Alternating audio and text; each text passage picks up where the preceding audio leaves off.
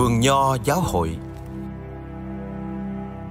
Vườn Nho là hình ảnh của Israel, dân riêng của Thiên Chúa Gia-vê trong cựu ước, cũng là hình ảnh của giáo hội Đức Giêsu trong Tân ước.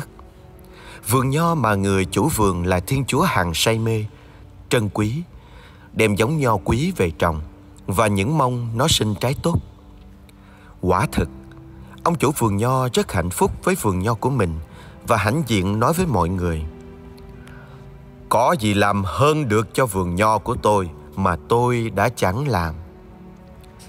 Và tương quan gắn bó mật thiết giữa ông chủ và vườn nho chính là hình ảnh tình yêu của Thiên Chúa dành cho dân Ngài. Như ngôn sứ Isaiah đã quyết. Vườn nho của Đức Chúa các đạo binh chính là nhà Israel đó. Cây nho Chúa mến yêu quý chuộng ấy chính là người xứ Judah. Nhưng rồi, chính vườn nho dân riêng ấy đã làm thất vọng ông chủ của mình khi sinh ra những trái nho dại do những điều bất chính. Tin mừng mắt theo cho chúng ta thấy đứng trước những khước từ, tẩy chay, chống đối ngày càng dồn dập và những âm mưu hãm hại, thủ đoạn triệt hạ ngày càng bủa vây, quyết liệt của người Do Thái được các thượng tế, kinh sư và những người thuộc nhóm Pharisêu cực đoan dàn dựng, đạo diễn.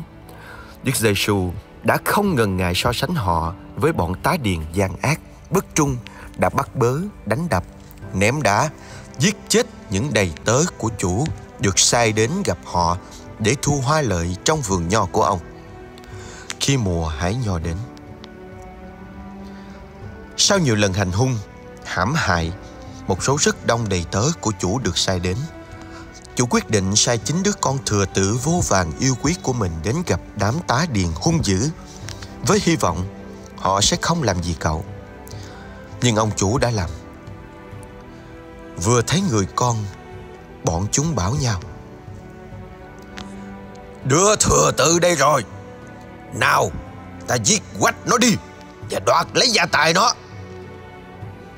Thế là chúng bắt lấy cậu quăng ra bên ngoài vườn nho và giết đi. Thẳng thừng so sánh họ với bọn tá điện ác ôn, vô ơn, phản bội. Đức Giêsu chẳng khác nào đổ dầu vào lửa. Ngài còn nghiêm khắc bảo Tôi nói cho các ông hay Nước Thiên Chúa Thiên Chúa sẽ lấy đi không cho các ông nữa Mà ban cho một dân biết làm cho nước ấy sinh hoa lợi Vì thế họ tìm cách bắt người. Thực vậy, chương trình của Thiên Chúa là Israel. Dân Chúa sẽ đón nhận Đức Giêsu, ngôi lời nhập thể, đấng Thiên Chúa sai đến, đấng mà các ngôn sứ đã loan báo từ bao đời trước. Nhưng rất tiếc, Israel, dân riêng của Thiên Chúa, đã không mở lòng đón nhận Ngài. Bởi thế, Đức Giêsu, con một của Thiên Chúa, người con thừa kế được sai đến phường nho dân Chúa đã bị hành hình, đóng đinh bởi chính dân Ngài. Và lời Kinh Thánh đã ứng nghiệm nơi Đức Giêsu. Tảng đá thợ xây nhà loại bỏ lại trở nên đá tảng góc tường. Đó chính là công trình của Chúa, công trình kỳ diệu trước mắt chúng ta. Công trình kỳ diệu ấy là giáo hội được khai sinh khi Đức Giêsu xây giáo hội trên tảng đá Phêrô để làm thành một dân mới.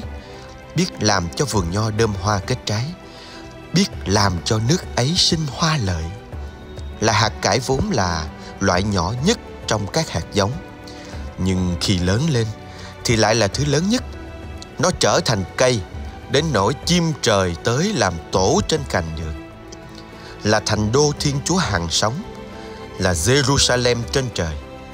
Là đại hội của những người đã tới cùng vị trung gian giao ước mới. Là vườn nho mới thiên chúa làm giàu, xây tường và tỉa cành, nhổ cỏ cho tươi thắm. Giáo hội mang sứ mệnh loan báo đức giêsu đấng cứu độ đích thực và duy nhất của nhân loại được chúa cha sai đến. Đấng đã đến nhà mình, nhưng người nhà chẳng chịu đón nhận. Dầu vậy, ngài đã yêu thương để những ai đón nhận, tức là những ai tin vào danh người, thì người sẽ cho quyền trở nên con Thiên Chúa trong vườn nho giáo hội của Ngài.